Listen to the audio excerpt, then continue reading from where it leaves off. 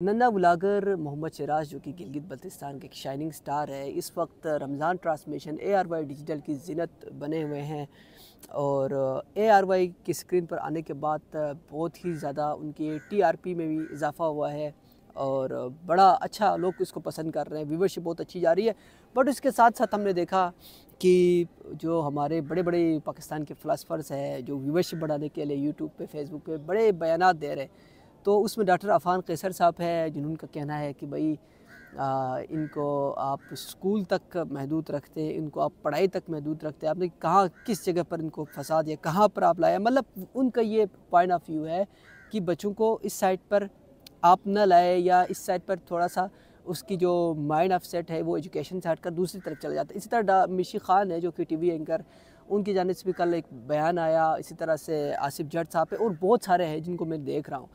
तो मैं ये समझता हूँ आज की वीडियो का ये मकसद है कि वसीम बादामी पे जो क्रिटिसाइज़ कर रहे हैं, उन्हें तनकीद का निशाना बना रहे हैं कि वसीम बादामी तुमने जो बच्चों की मासूमियत छीनने की कोशिश की है और जिस अहमद शाह का भी कहा, अभी शराज के वो पीछे लग गए हैं, ये क्यों कर रहे हैं, क्यों ऐसा आप लोग खिलवाड़ कर रहे हैं? तो मैं समझता हूँ कि वसीम बादामी साहब ने एक अच्छा इनिशिएटिव उठाया है, एक अच्छा इकदाम है। जैसे मोहम्मद शराज के मतलब कि एक महीने के अंदर सोशल मीडिया पर वो एक स्टार बन गया। सोशल मीडिया और इलेक्ट्रॉनिक मीडिया दोनों अलग अलग चीज़ है। दोनों का अलग प्लेटफॉर्म है।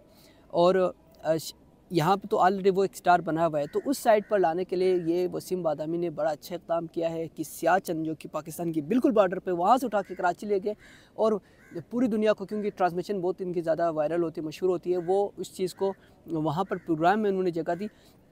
उससे ये हुआ कि गिलगित बल्तिस्तान जो कि एक ऐसा ख़त्ता है जहाँ पर हकूक़ की अगर हम बात करें राइट्स की बात करें, बहुत ही बैकवर्ड इलाका है, एरिया है। कोई मतलब नहीं पूछता और स्पेशली इलेक्ट्रॉनिक मीडिया में जगह बनाना वहाँ के लिए बहुत मुश्किल हो जाते हैं। अभी भी ये जो सर्दियों में इतने डरने हुए हैं जुलूसे हुए, कोई एक कवरेज तक नहीं है। बट ये हमारे लिए फ़ख्र की बात है, बतौर गिलगित बल्तिस्तान क्योंकि मेरा ताल्लुक करदूस है। ये हमारे लिए फ़ख्र की बात है कि शराज जब से जिनत बन रही है, इस ट्रांसमिशन की, उनके सर पर आप जो टोपी देख रहे हैं, वो बिल्कुल बिल्कुल बल्तिस्तान की जो सकाफ़त की तर्जुमानी कर रहे हैं, इसी तरह से वो ताज पहन के जहाँ एंट्री कर रहे हैं।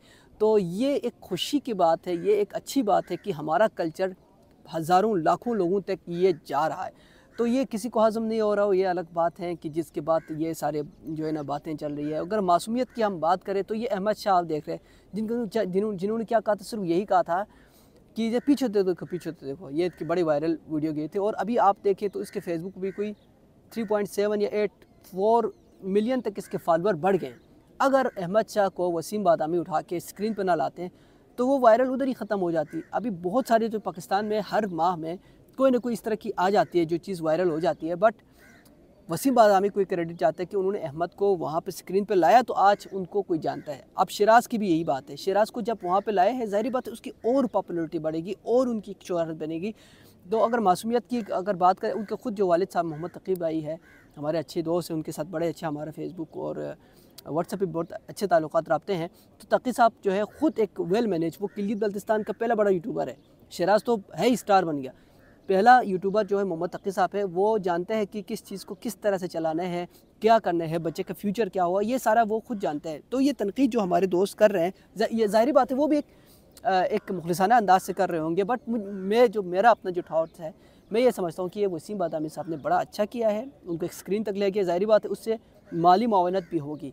ए आर वाई आपको सपोर्ट भी करेंगे, और भी जो प्रोग्राम होंगे, वहाँ पर भी आपको जगह मिलेंगी। इसके थ्रू और भी चैनल्स पर आपको जाने के मौके मिलेंगे। तो ये बड़ा अच्छा है कि उससे स्पेशली गिलगित बल्तिस्तान के लोगों की तर्जुमानी हो सकेगी।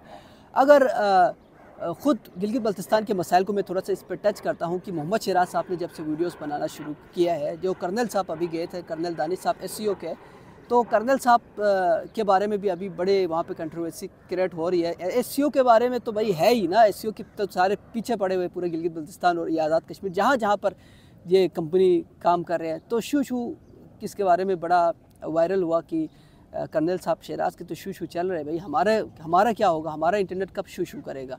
तो कर्नल साहब ने ये जो टेक्निक अपनाई है, मैं आपको इसका बताता हूँ कि शहराज ने दो तीन वीडियोस बनाई। और उस उन, इसमें उन्होंने कहा कि हमारे यहाँ पे तो नेट ही नहीं चलता हमारे तो भाई बड़े मसाइल हैं। तो वो मसाइल को उजागर कर रहा था उनके वालिद साहब ने भी पहले कहा था हमारा फोकस क्या होगा हम मसाइल को लोगों तक पहुँचाएँगे और ज़ाहरी बात है उसकी मिलियंस ऑफ़ व्यूवरशिप है तो मिलियंस ऑफ़ लोगों तक किया कि भाई हमारे तो यहाँ पर इंटरनेट का कोई कोई जवाब नहीं कोई सहूलियत ही नहीं है।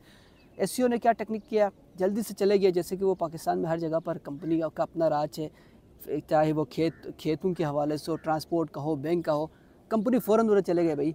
फ़ौरन जाके उसका इंटरनेट ठीक करके दिया और उसका मुँह बंद कर दिया। भाई तो देखो देखो, तुम्हारा इंटरनेट तो ठीक हो गया, अब तुमने नहीं बोलना। तो कंपनी से मेरा ये सवाल है शू शू सरकार से ये सवाल है कि जो दूसरे लोग पैसे भरते हैं, जो दूसरे बारह सौ बारह सौ के पैकेज कराते हैं, भाई, उनका क्या कसूर है? उनका नेट क्यों शू शू नहीं कर सकता? अगर आप शू शू वहाँ पर कर सकते तो आपको चाहिए कि दूसरे लोगों को भी वह फैसिलिटी दे। अगर एफडब्ल्यू की बात करें, भाई, अब ये सारा एक ही जो खिचड़ी है, अभी जो हमारा टॉपिक है वो ये है कि मोहम्मद शराज साहब माशा बहुत अच्छे जा रहे नाम रोशन कर रहे हैं पाकिस्तान का और स्पेशली गिलगित बल्तिस्तान की टूरिज़म को बूस्ट अप करने में इनका बड़ा रोल है। आ, पहले एक दफ़ा मैंने वीडियो बनाई थी कि भाई कोई उनको आप लोग उस तरह से नहीं सराह रहे, उस तरह से उनके को खराज तहसीन पेश नहीं कर रहे, जिसके बाद से हमने देखा कि एस का ये भी चला गया और डी सी वी सी ने भी उनको सर्टिफिकेट वगैरह दी। तो हमारी दुआएँ इनके साथ हैं, नेक ख्वाहिशात इनके साथ हैं। मैं समझता हूँ वसीम बात आमिर साहब ने बड़ा अच्छा इनिशिएटिव लिया है। कोई मासूमियत उनकी नहीं छिन रही, ठीक है? कोई मसला नहीं होगा, इससे और भी ज़्यादा अच्छा होगा और ये आगे और ही बेहतर अंदाज से चल सकेंगे। मुझे दीजिए इजाज़त, अल्लाह हाफ़